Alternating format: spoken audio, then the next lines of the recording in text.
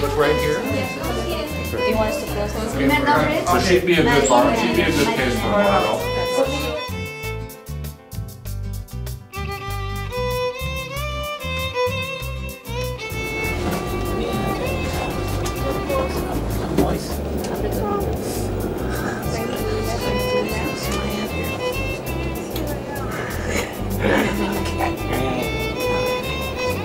Those.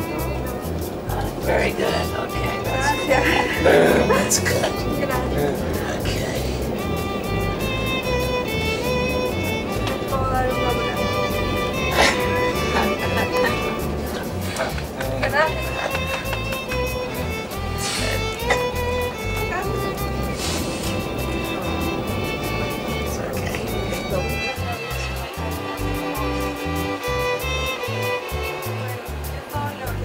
Wants to look around.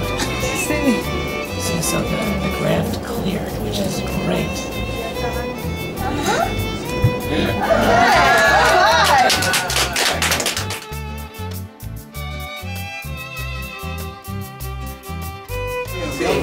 La señora Rosa.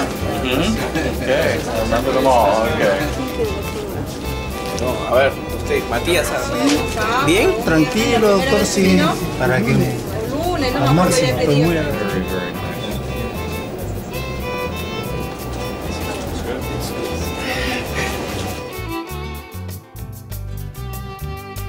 Uh, The case we're doing today is uh, new technology uh, which consists of implanting an artificial cornea in a patient in whom a regular corneal transplant would not work.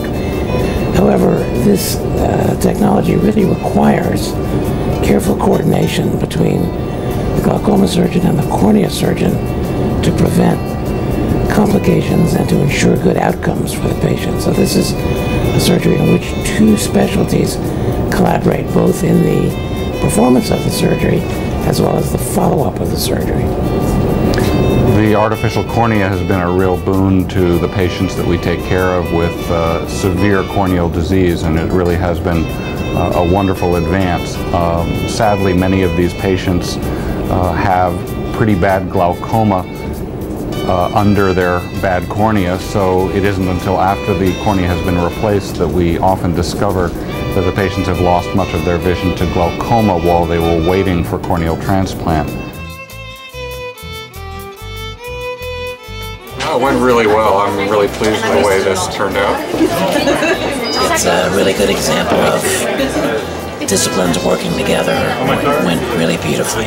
I've uh, this is my sixth Orbis uh, mission, and it has struck me in many of the places that I've visited with Orbis that the various subspecialties, as skilled as they can be, are often working in almost silos and not coordinating care uh, between the subspecialties in their care of very complex patients.